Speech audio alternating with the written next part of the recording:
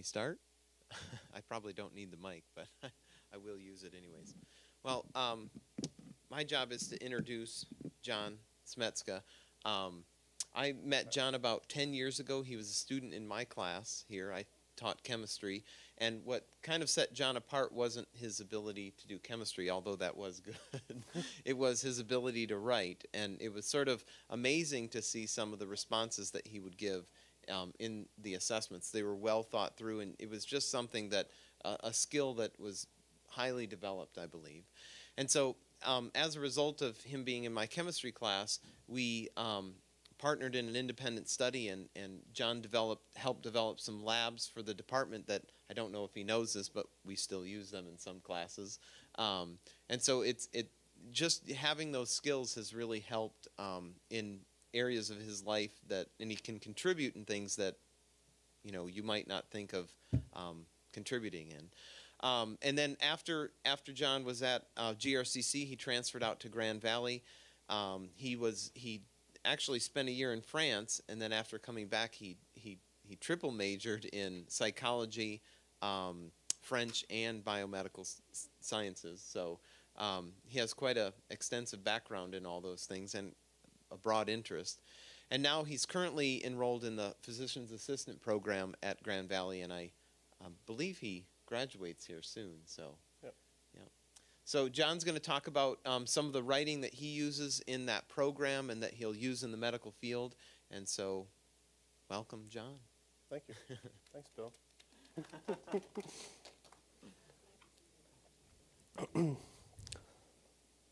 so, the first first thing I want to talk. I mean, Bill did a good job of of introducing me. Um, I'm a grad student at GVSU. I'm in the physician assistant program. Uh, I heard some I heard you two were asking like, what is a physician assistant? Oh, um, a, a, physician assistant, it's, it's very similar to a nurse practitioner. It's a, it's a mid-level provider. You, you, are, you work, um, you see patients on your own. Um, you either have a hospital that's supervising you or you work under the direct supervision of, a, of, a, of an MD or a DO.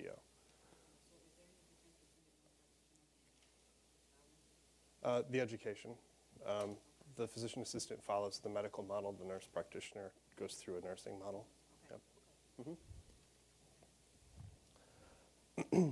I'm an alum, alumnus of GRCC. I,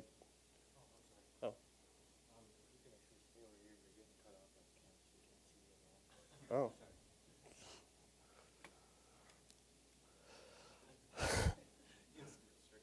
yeah. Um, I'm a, I'm a former bookstore employee as well. Uh, I'm a recreational reader and writer. I write poems. Uh, I write uh, short stories. I've written uh, unpublished novels, um, written plays. Um, and uh, Bill kind of pointed it out uh, in his observations, but I do. I believe I, I, owe a great part of my success in medicine to my development as a writer. Um, there are a lot of famous writers that uh, practice medicine, and w- when I'm saying medicine, I'm also including nursing as, as the broad medical field. Um, Hippocrates, the founder of medicine, he was a writer. Um, in, in, mythology, uh, Apollo was the god of, of medicine and poetry. Uh, Athena was the goddess of healing and writing, as well as weaving and war. I put uh, weaving in there because a lot of a lot of uh, metaphors say you weave a poem or you you weave a plot. Um, so I, I, found that interesting. Uh, the Celtic patroness of poets and healers is Bridget. Also, the gospel writer Saint Luke. He was uh, he was thought to be a, um, a, physician. Islamic philosopher uh, Avicenna, uh, Moses Maimonides, who wrote the, the Guide to the Perplexed, is a famous Jewish writer and, and physician. Um, John Keats, the poet, was an apothecary. Uh, Jean Paul Marat, one of the, the political thinkers of the French Revolution, kind of the, the French equivalent of Thomas Jefferson. He was a physician. Uh, Sir Arthur Conan Doyle, the, the man who gave us Sherlock Holmes, uh, he, was a, he, was, he studied medicine. Um, Che Guevara was a, was a doctor. Uh, Anna Freud, the daughter of Sigmund Freud, um, she was a literary critic as well as being a psychiatrist. And William Carlos Williams, uh, the short story uh, playwright and uh, short story writer, playwright, and, and poet, um, was a, a, family practitioner. So, why are there in history? Why are there so many writer physicians? Uh, why are there so many people who, who write and practice medicine? Why do these, why do these fields go together? Um, I think it's because a lot of the skills that you, you develop as a writer and also that, that make you really good at medicine are the same. Um, when you practice medicine, you have to listen. In order to be a good writer, you have to listen. You have to practice empathy. You have to have a sense of, of what, what human nature is about. Um, you have to ask good questions. You have to be curious. Uh, you can't be a very good writer and, be not, and not be curious. You can't be a very good um, practitioner of medicine and not be curious. Some, I mean, sometimes curiosity makes all of the difference. Even in medicine, you, you follow, uh, somebody says something like, um,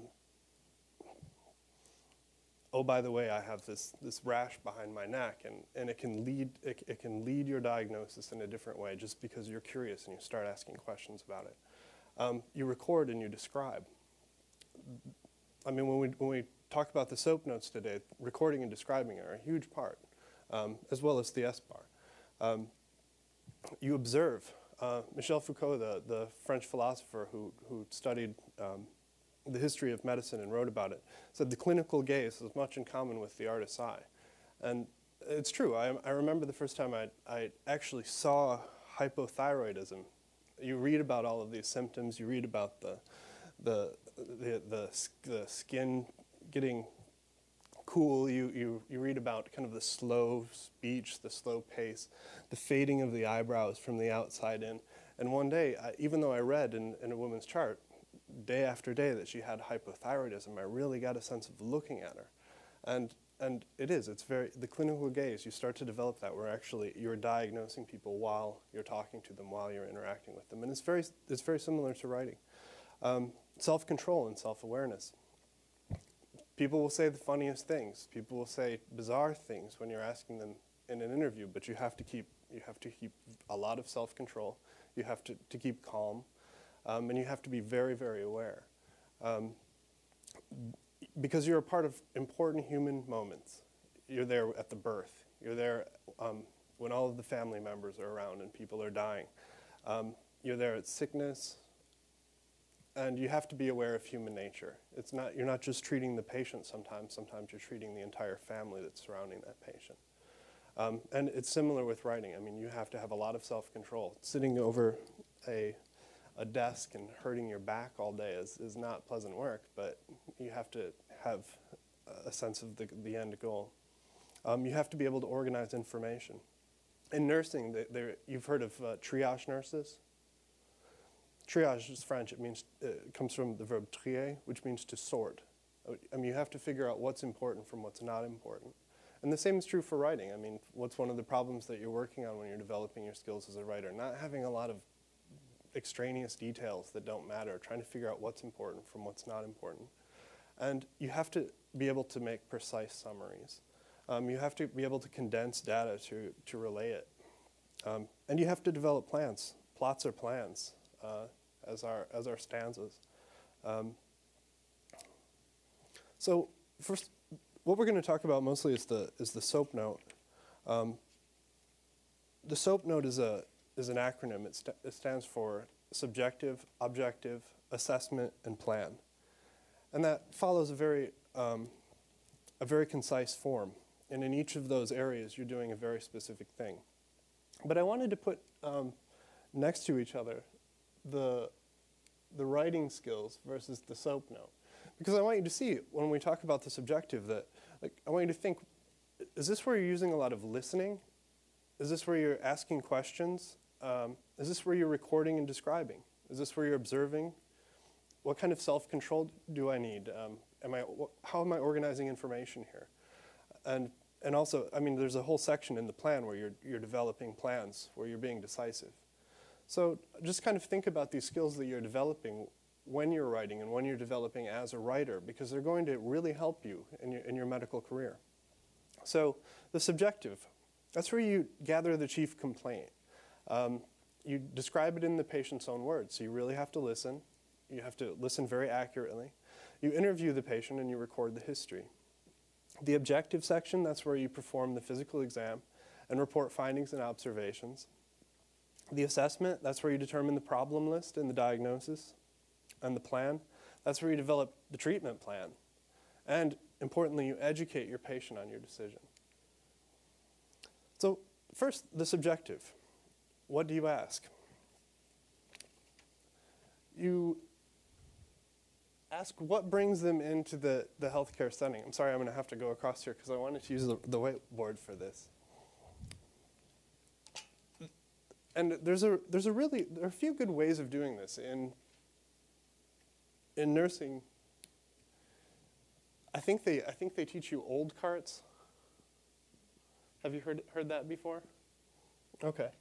Well, I like, I like using one called complains because it's really, it, it's not that the patient's complaining, but it just helps me, it helps me remember.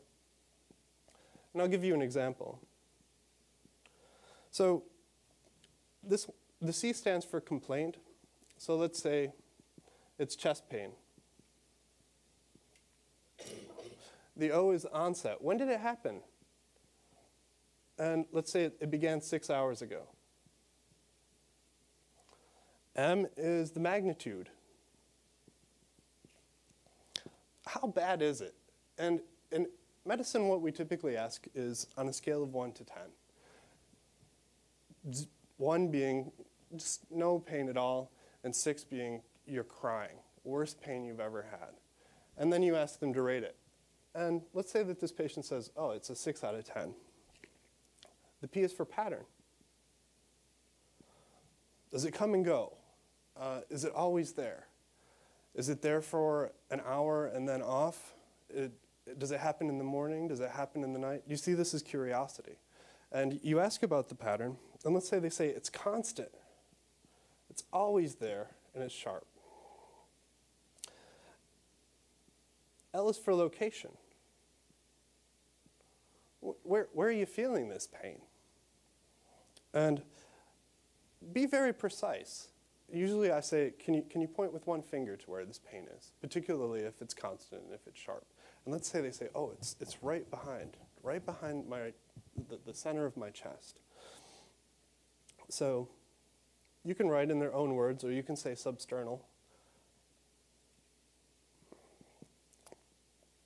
And A is for associated symptoms.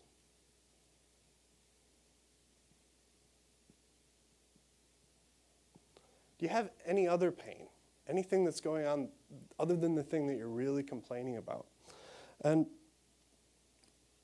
let's say this patient says, you know, it's really hard. I have this pain and it's really hard for me to take a deep breath. So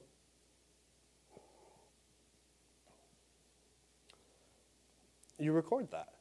The I is for improvements. Does anything make it better? And let's say, you know, when I'm, when I'm sitting up, it makes it better. And as for negative stimuli, does anything make it worse? Let's say, you know, when, I, when I'm leaning forward, it gets better, but when I'm lying flat, that pain just gets worse.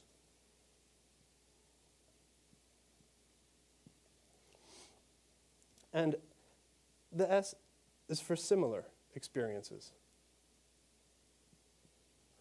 Has anything like this happened before? And let's say, no, this is the first time. So you put no prior history. And in medicine, HX is often the abbreviation for history. So Another thing, another, another thing that you want to ask about are worries. When you see the patient, do you have any concerns? Because, I mean, this patient might say, like, Am I having a heart attack? Um, what's going on? um, you want to get their weight, you want to know if they have fevers, um, and you want to know how old they are because a lot of times age can determine, uh, can really get you thinking one thing instead of another. It can, it can help you rule out a condition. Um, you want to know if they're sleeping and what their sleep is like. Uh, you want to know if they have any allergies, and not just not just medical allergies. You want to know if they have allergies to the environment. You want to know if they have allergies, allergies to latex. Um, you want to know what medicines they're on, because if you prescribe them something, it might interact. And, and even, even if you're not the one prescribing, you still want to know these things because you can pick it up. Um, medication errors do happen, um, and, and they get corrected because people are paying attention and they know what to look for. Um, you want to know their past medical history. What have they, what, what kind of medical conditions have they had in the past? You want to know about their family because genetics are a huge thing um, in determining disorders.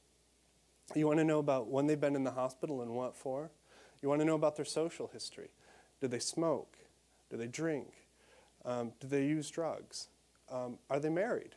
Uh, do they have a lot of, a lot of sexual partners?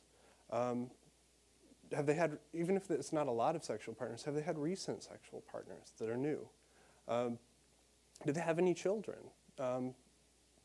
You, you kind of want to get to know your patient, not just in a clinical setting either. You want to ask them their religion in case, you know, something comes in and, and you want to say like, hey, do you want to talk to a pastor? Can I help you out in this?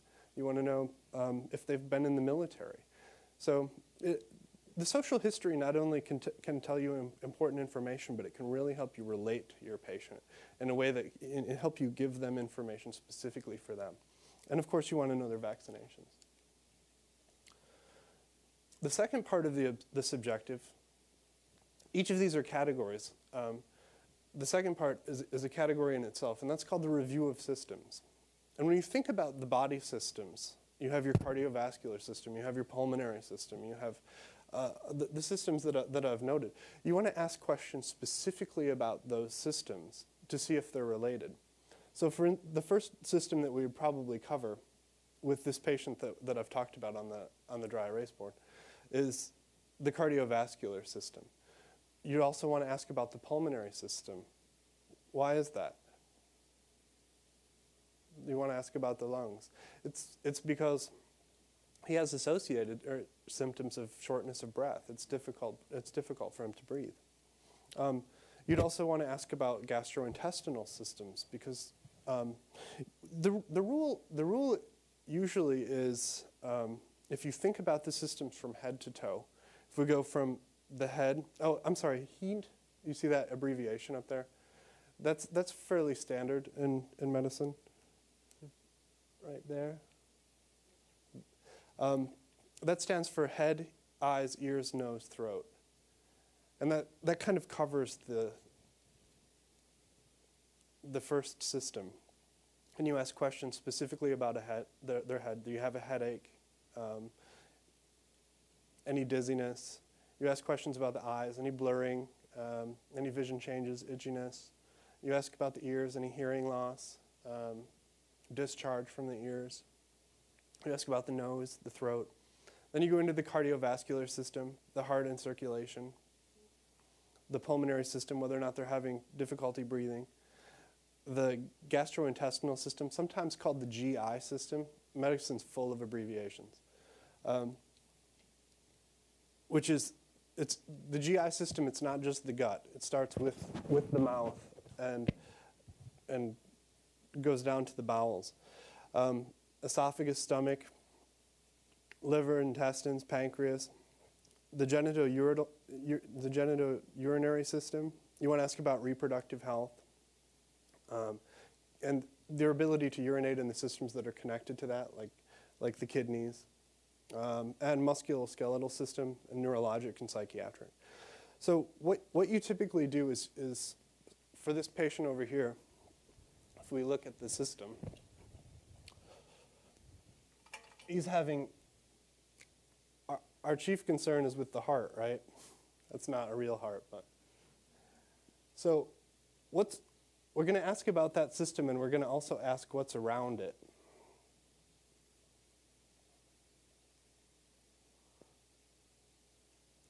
So we have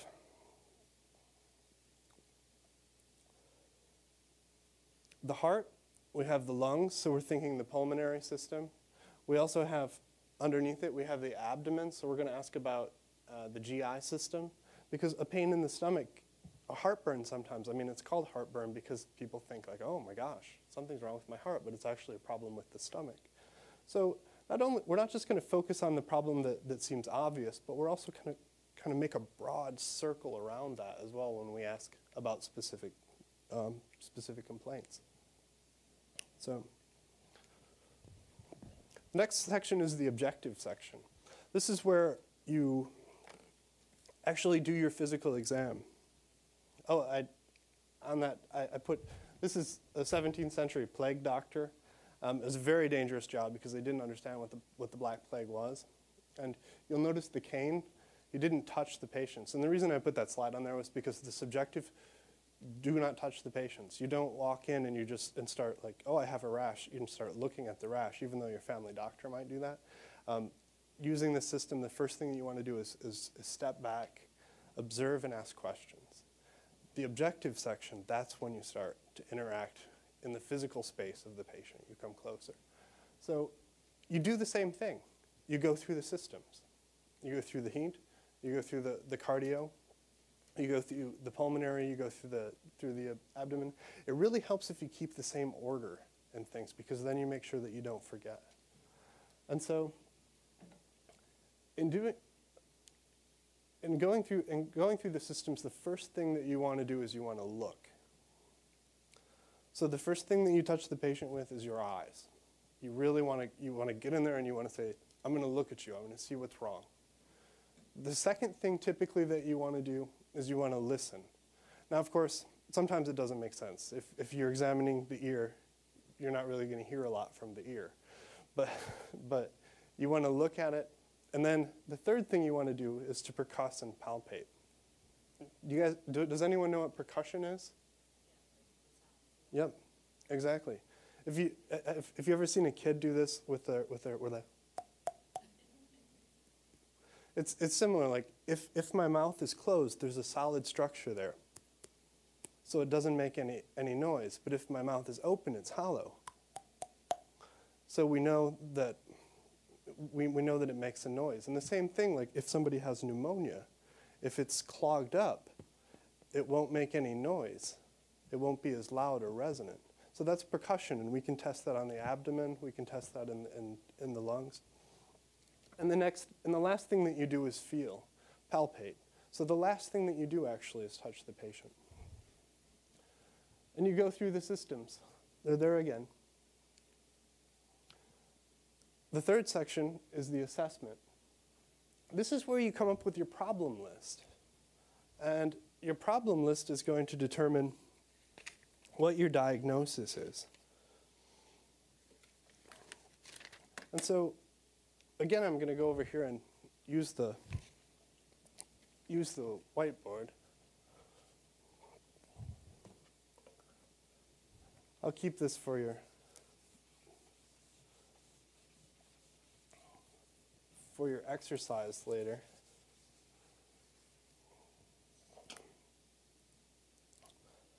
So, in your subjective,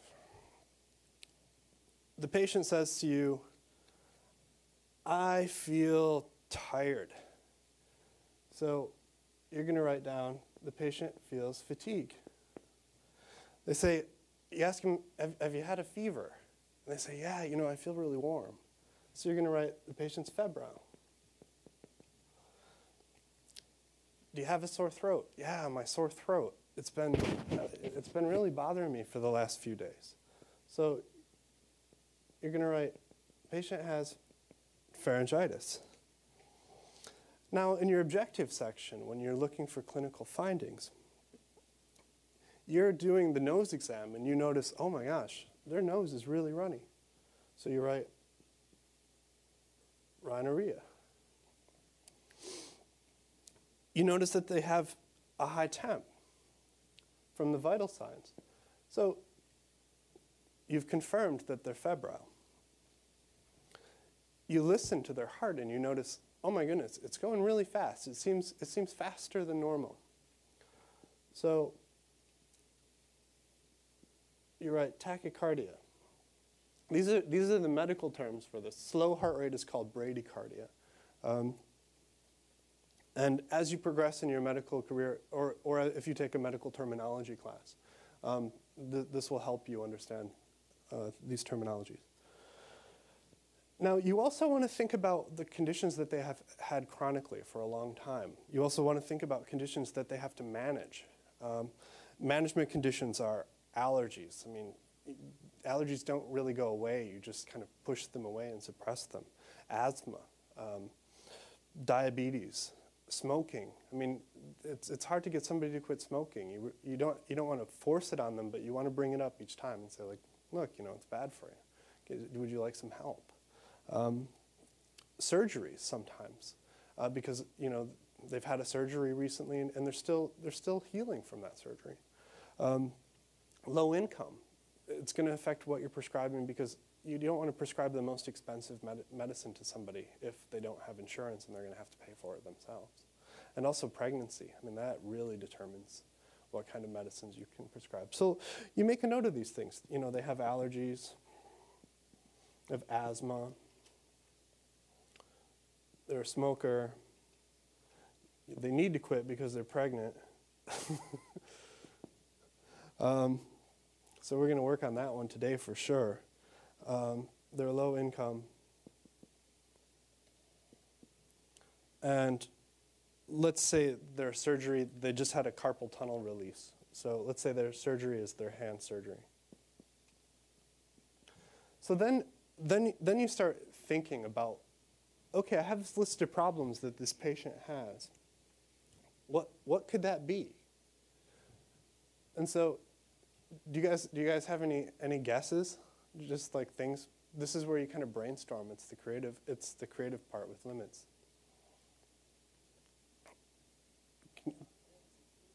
Yeah, influenza. Good. Good. Might be a strep throat.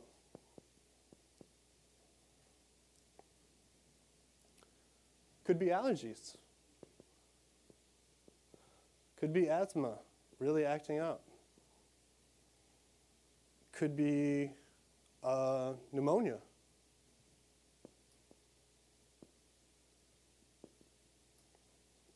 And any. Yeah, exactly. Anything else? Bronchitis, good. What did you say? Sure could.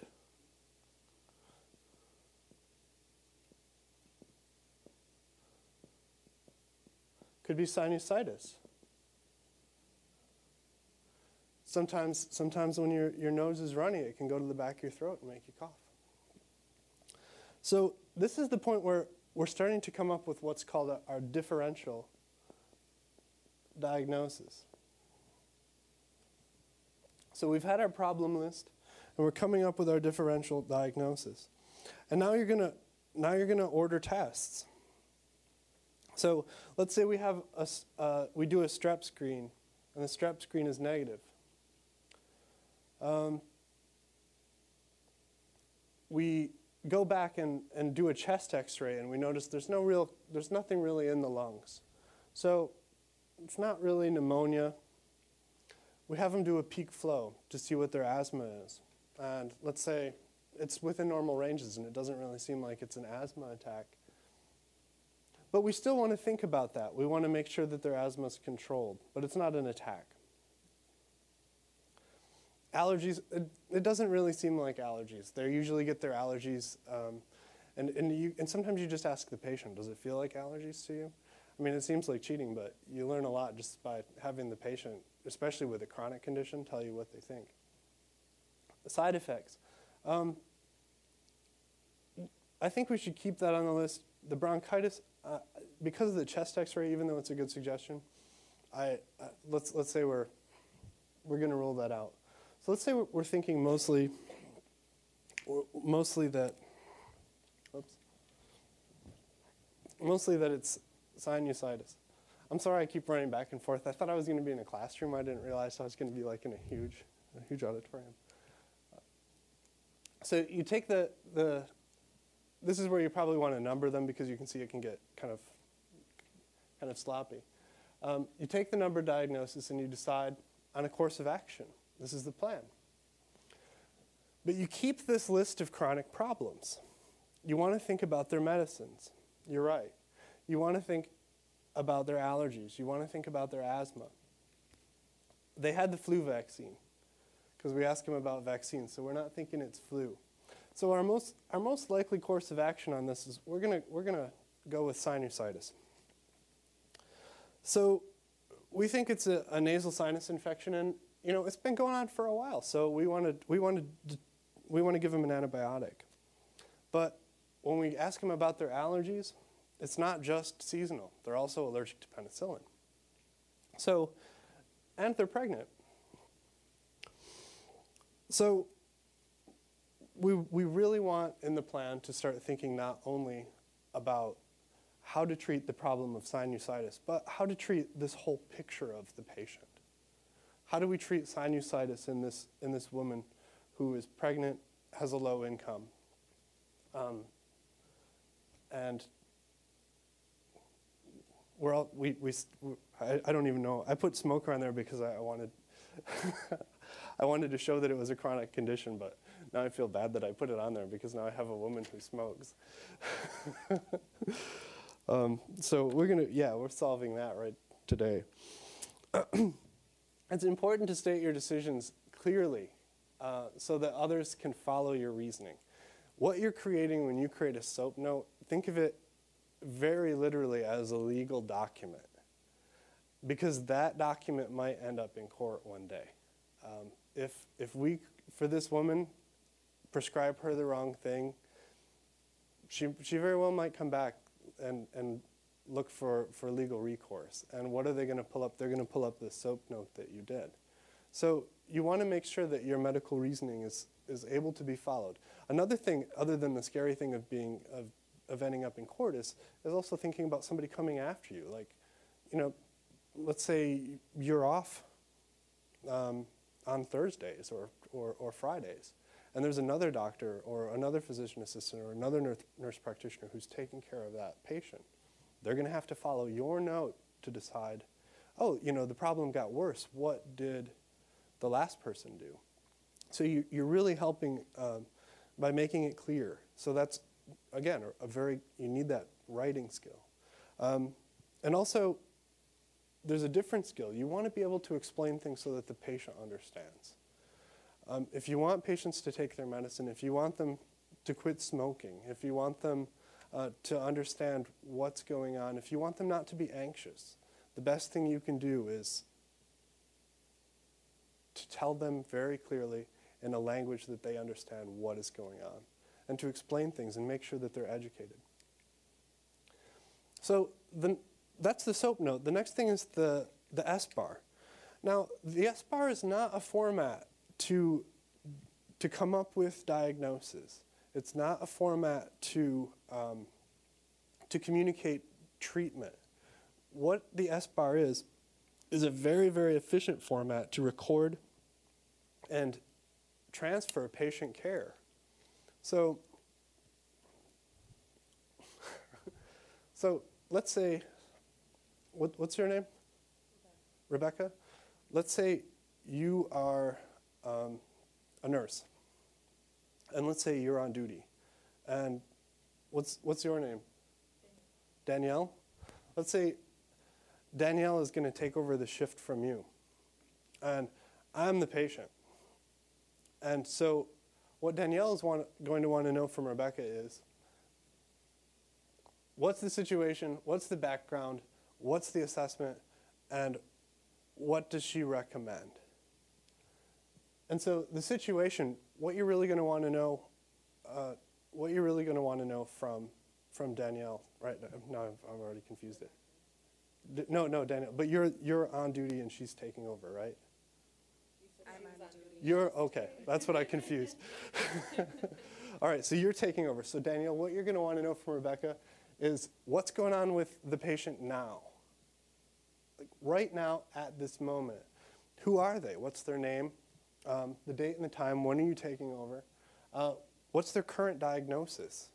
This is not, you're not coming up with the diagnosis, but you're reporting the diagnosis. Like, for instance, if I have um, chronic pneumonia, you're going to want to know that because it's going to affect your, your treatment. You're also going to want to know allergies, isolation. Isolation um, is, like, for instance, contact isolation. Some of you know that.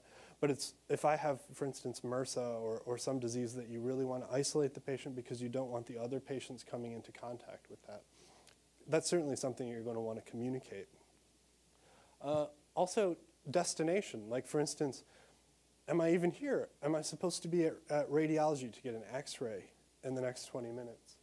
Um, the next section, background. What was going on with this patient?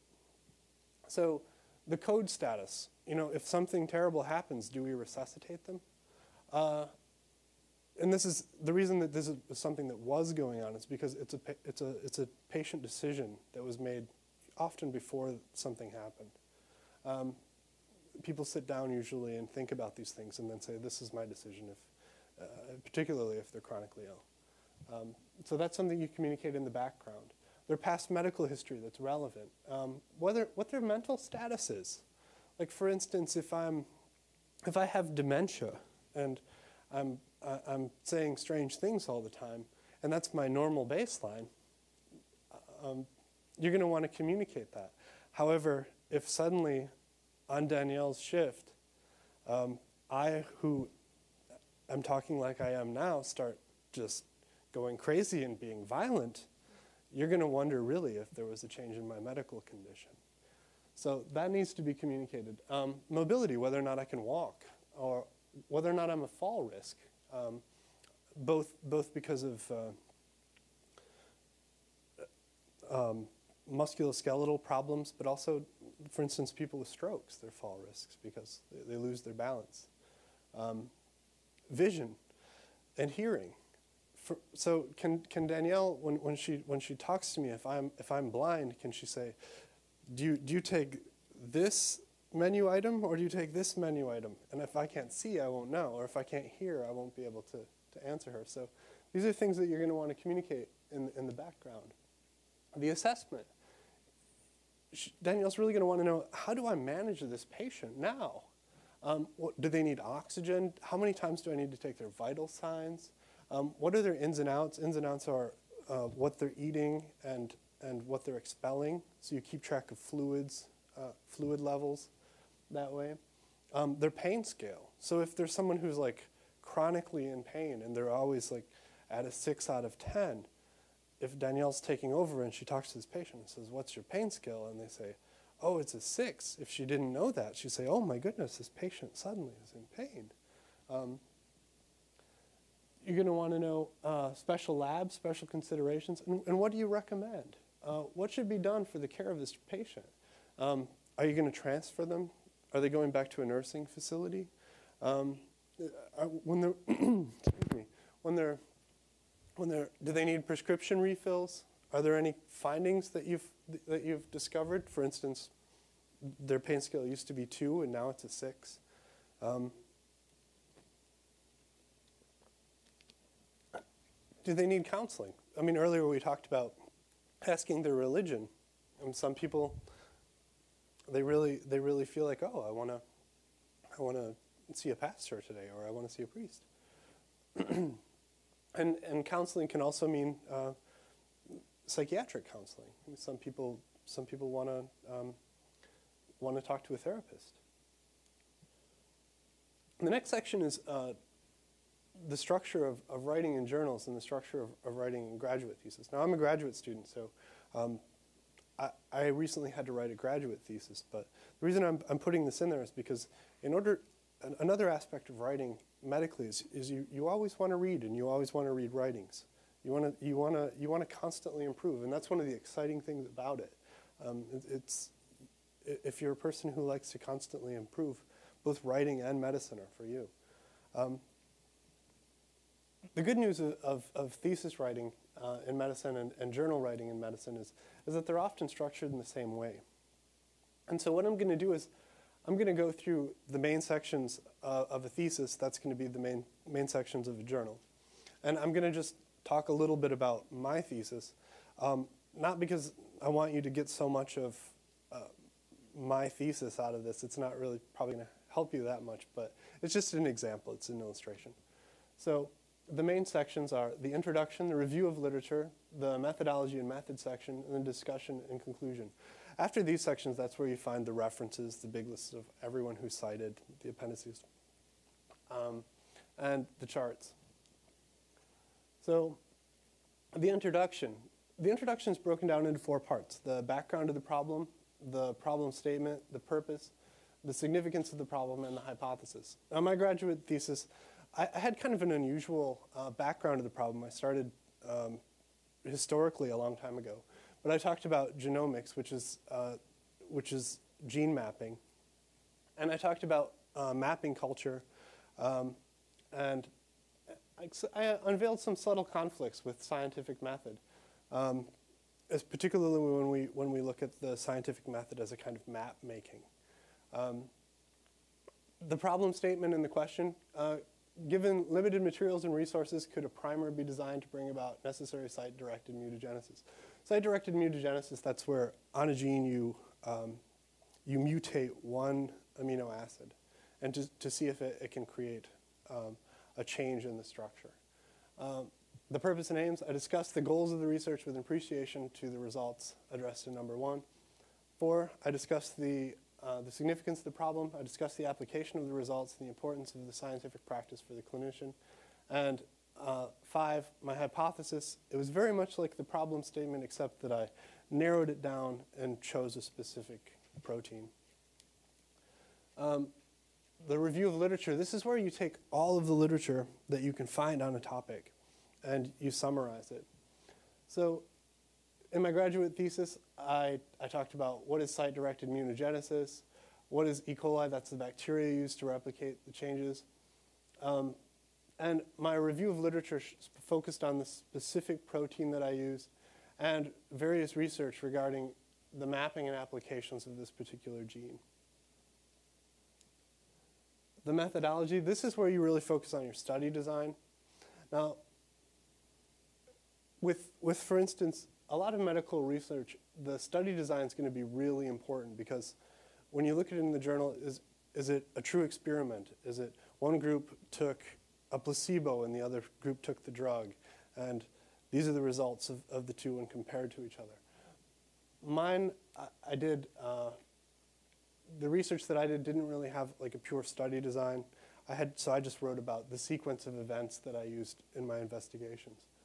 Um, study site and subjects, this is where you talk about the populations that you used or um, who, who the, the subjects of your study were.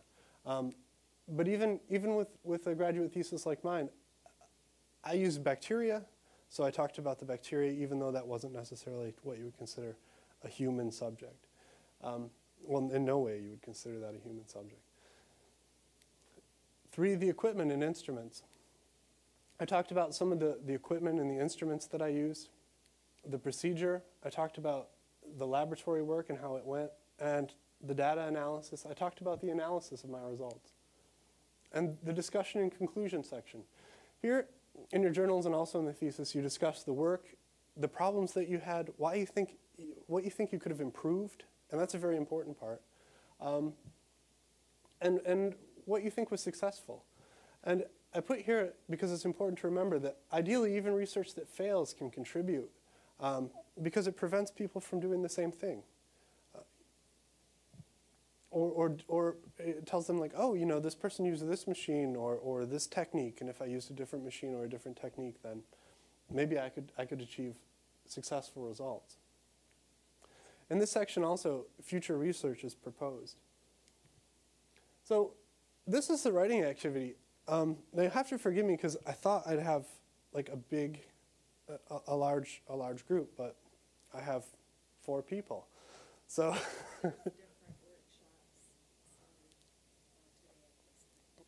oh, I know, I know. But I also thought I ha- would have a classroom, and here I am in this like huge, enormous. I thought I'd have a full classroom, and I have an empty auditorium.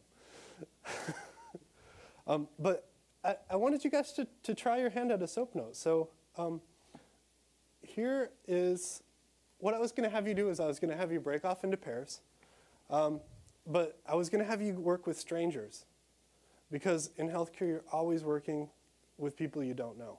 And, and like, for instance, you can tell these two know each other. But if you were to ask each other questions and practice that way, it's not going to be the same as practicing with a stranger. She's, she's our teacher. Oh, you all know each other? I don't, I've never seen her before, but we, we all know each other. All right. Well, you're gonna you're gonna pair up with her with with her. No, you you two are going to pair together, and you two are going to pair together. And here's your subjective template.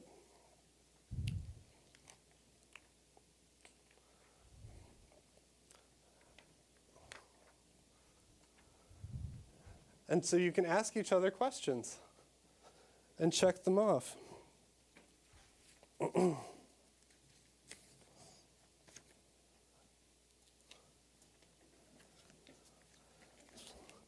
And when it's time for the physical exam portion, here's your objective template. You're welcome. Oh, uh, of the objective? And then I need a subjective. You have a subjective?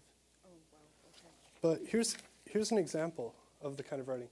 Now I haven't looked at this in a long time. This I like I grabbed this from last year in school. So, need an objective. I just dropped one on the floor. No, these are yours to keep. So when you want when you write your soap note, because you're supposed to have a writing exercise, you can kind of like if you run into problems, you can say like, oh, you know what what's done there. You can kind of look at it.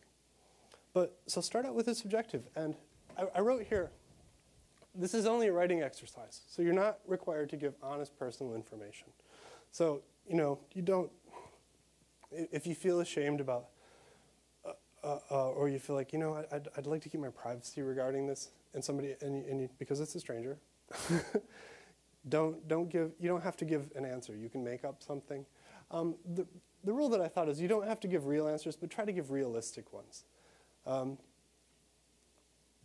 and, and remember that when you're interviewing because you want to practice being non-judgmental and empathetic that this person they're giving a realistic answer so don't judge them just think like oh they could be lying about anything on the ob- objective portion, um, these are actually like I tried. I tried to keep them to keep them very modest. I tried to like say like oh you know check their their range of motion, check whether or not they're check their pulses, so you can get you can actually get some some information on the objective section by by doing a mini physical exam on your partner.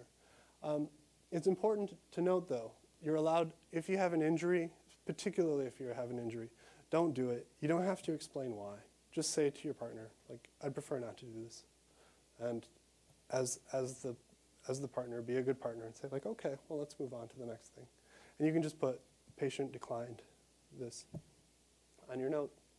And remember that these are not actual medi- medical diagnoses. This is just kind of giving you a sense of, like, from the other end of being a clinician going in there, like, what's it like to actually do a physical exam on somebody, or what's it like um, doing a subjective. So that's it. So let's, if you want to, if you want to get started, you can get started. If you have questions, you can ask me.